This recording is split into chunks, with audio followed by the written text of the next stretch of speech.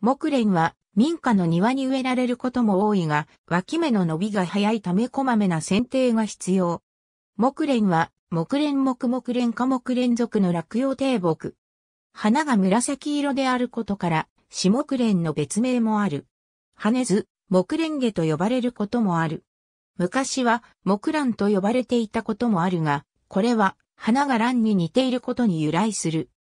今日では蘭よりもハスの花に似ているとして、木蓮と呼ばれるようになった。中国南西部が原産地である。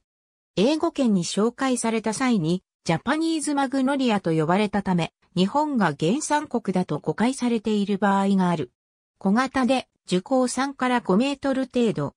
葉は5星で、広卵型、長さ8から10センチメートル、先は尖る。夏季は春。花は濃い紅色から桃色で、花弁は6枚、額は3枚、おしべとめしべは多数が螺旋状につく。上品な強い方向を放つ。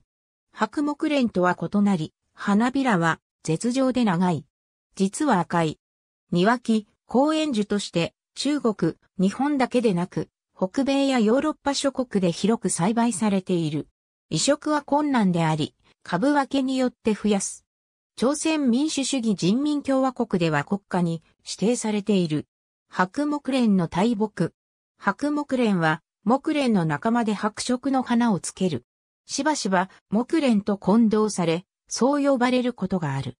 木蓮属の中では大型の種類で樹高は10から15メートル程度まで成長する。春、葉に先立って、大行で白色の花が開く。木蓮と白木蓮の雑種は、サラサ木蓮と呼ばれ、やはり街路樹などに用いられる。樹高は6から10メートルと変化に富む。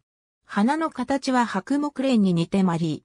花の色は、両種の中間に相当する、ピンク色が基本だが、やはり白から紫までの変化に富む。開花時期は白木蓮、サラサ木蓮、木蓮の順である。死木蓮と死で拳の交雑種もあり、花の外観は細めの死木蓮に見える。ありがとうございます。